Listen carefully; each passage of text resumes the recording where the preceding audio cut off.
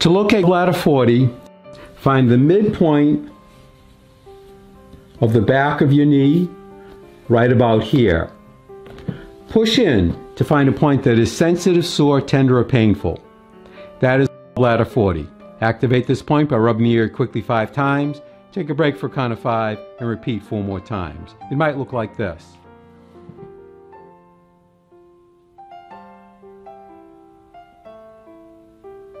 Now, there are some uh, arteries and nerves that run through this area, so gentle stimulation is best. You can use a Teishin gently like this.